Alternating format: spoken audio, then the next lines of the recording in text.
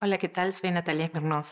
La película que elegí es Mirta de Liniers Estambul. Mirta es una de las primeras películas que recuerdo como de la etapa de democracia de ir al cine, ir a la calle Lavalle.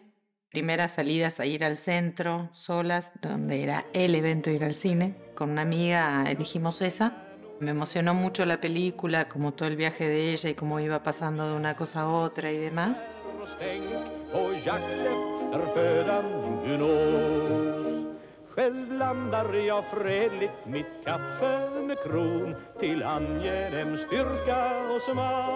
La escena que recuerdo es después de todo el recorrido que había hecho Mirta, desde escapar y salir de exiliada y quedar en Suecia y vivir como una comunidad, termina finalmente una nueva pareja en Estambul, con el pelo de otra forma, un corte que señalaba como que había pasado tiempo, y había una reunión de gente, todos hablaban como en otro idioma, y ella otra calidez, otra sensación, y en el medio que está ella ahí envuelta en esta gente totalmente extraña, ve de repente a Norberto Díaz, que era su anterior pareja o de quien se había separado suponía yo, y yo no entendía en ese momento si es que estaba ahí o qué estaba sucediendo.